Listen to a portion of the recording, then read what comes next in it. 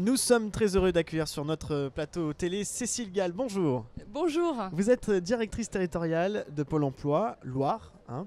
Merci d'être avec nous. Euh, le Pôle Emploi, c'est véritablement un partenaire essentiel pour la réussite du village des recruteurs. Première question, comment ça se prépare euh, le village des recruteurs? Alors le village des recruteurs, ça se prépare eh ben, effectivement, comme vous le disiez, euh, en partenariat euh, avec les organisateurs de cette manifestation. Donc on s'est associé euh, sur la communication auprès des demandeurs d'emploi par deux canaux principalement. hein. Le canal mail SMS, qui nous a permis effectivement d'inviter plus de 5000 demandeurs d'emploi sur cette manifestation aujourd'hui. Et puis un deuxième canal, euh, nous avons un site Facebook euh, Pôle emploi Loire-Haute-Loire qui permet, euh, outre les communications d'événements, de communiquer également sur les offres d'emploi du territoire. Et on a plus de 50 000 personnes qui ont vu Ah oui. effectivement euh, Ça marche bien ce Facebook. hein l'information sur le village des recruteurs. Ça marche très bien, oui. Alors Cécile Gall, expliquez-moi un petit peu. Quand on est directrice territoriale et qu'il y a ce genre d'événement, j'imagine qu'on dit oui tout de suite. Comment ça se passe? Pourquoi avoir dit oui? Au village des Alors je pense que euh, on est euh, avec les partenaires ici présents hein, dans une logique euh, de retour à l'emploi. Donc c'est ce qui nous motive et qui gouverne nos actions au quotidien. Donc toute opportunité de pouvoir faire rencontrer les demandeurs d'emploi, mais également les actifs, puisqu'il ne faut pas oublier qu'il y a des gens qui sont en activité mais qui souhaitent se reconvertir et découvrir d'autres métiers, et les employeurs, c'est autant d'opportunités effectivement qui facilitent le retour à l'emploi et c'est vraiment euh, l'objet de notre quoi. démarche. Oui. Euh, le marché de l'emploi à Saint-Etienne, il a longtemps été victime euh, d'une image. euh, euh, il y a à peu près 30 ans, les, les entreprises, les, entre- les industries qui fermaient, etc. Aujourd'hui, la situation s'embellit, c'est ce que vous me disiez tout à l'heure. Expliquez-nous un petit peu le marché de l'emploi, comment, comment il se positionne aujourd'hui ici. Alors le marché de l'emploi effectivement n'est plus ce qu'il était il y a 30 ans. Hein. donc les choses ont évolué. Effectivement, on est Tant sur mieux. un territoire qui reste euh, industriel aussi, avec de, de- de- de très belles entreprises industrielles, euh, avec lesquelles d'ailleurs, euh, lesquelles sont présentes aujourd'hui, puis avec lesquelles on, on- on a su nouer aussi des partenariats en termes de, recrutement et de formation. Aujourd'hui, on a une enquête sur les besoins de main-d'œuvre hein, qui est mise en place par Pôle emploi au niveau national sur chaque département. Donc c'est vous qui allez directement voir les entreprises et vous leur demandez leurs besoins. Tout à fait. Les entreprises en fait nous, nous remontent effectivement leurs projets de recrutement et il faut savoir que donc euh, sur le territoire effectivement de Saint-Étienne, on a 8240 projets de recrutement euh, qui sont euh, prévus euh, cette année. Ça traduit quoi Euh, ce chiffre? Ça traduit euh, une embellie. euh, puisque euh, on est clair et je pense que les médias euh, le communiquent largement. On est vraiment sur une reprise d'activité. Aujourd'hui, on constate euh, euh, qu'on a plus de 10% de reprise d'emploi. Euh, on a euh, des offres qui augmenté de plus 15% en un an. Euh, donc euh, effectivement, on, est, euh, on peut parler de, de reprise économique de manière certaine.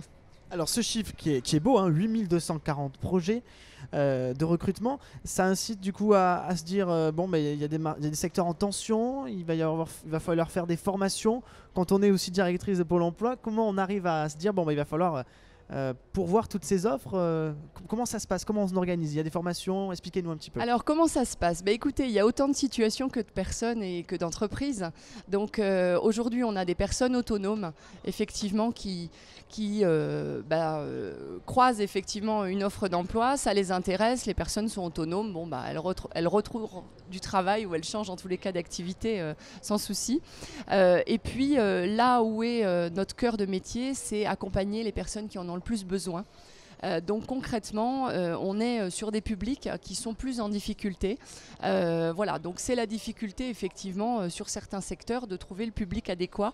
Donc comment on travaille?